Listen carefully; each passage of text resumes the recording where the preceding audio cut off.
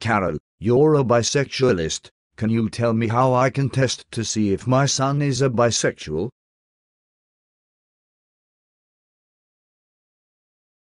Why do you think he might be bisexual? Has he told you he's attracted to men? No, no. I don't think he's gay, nothing as bad as that. But I'm worried he might be bisexual. Oh.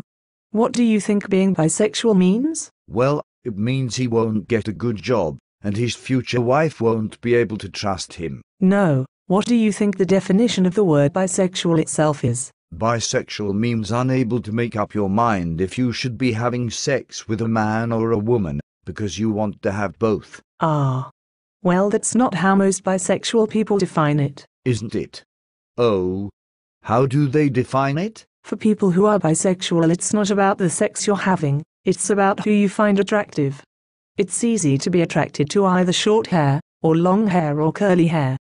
If you found all three hairstyles attractive, you wouldn't need to have three partners. Bisexuals are just attracted to more than one gender. We don't need to have multiple partners. But some bisexuals do leave women to date men. Of course. And some people who like all sorts of different hairstyles leave people with short hair for people with long hair. But it's not the gender or the hairstyle that is the important factor, it's who the person is.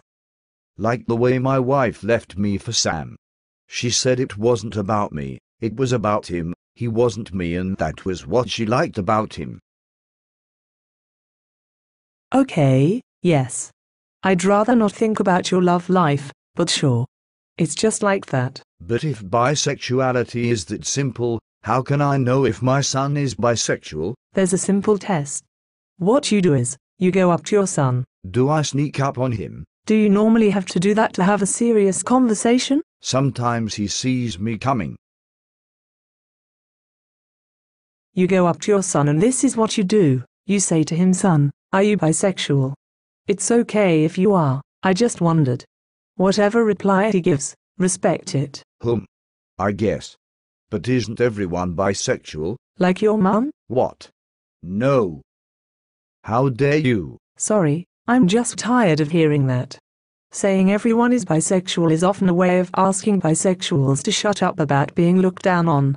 If everyone's bisexual, we're not a minority, so shut up. I meant, does everyone have the potential to be bisexual, but media and society?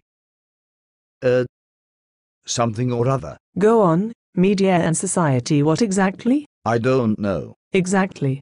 If the messages we receive from society were all that stopped us being bi, then how come some people are still gay or bisexual? They weren't all brought up by hermits. Unless they are crabs. Hermit crabs. Can crabs be bisexual? Do they even have sexes, or are they like snails and that guy on the TV? Stay with me, Ted. If the message that it's okay to be bisexual is so corrupting that it can turn teenagers into bisexuals, then that's quite amazing, because the message that it's not okay to be bi is so very, very much louder, especially for men. But I guess that's because women kissing is hot. And men kissing is icky. For most straight men, yes. That's why that is the message the media puts out, and that's why bisexual men don't come out of the closet. Or they're shells, if they're crabs. Bisexual crabs. I had crabs once, but that doesn't make me bisexual, does it? Brian, it's up to people how they define themselves. Not society, not the media, and not me. But just this once, I'll make an exception. I declare you officially not bisexual.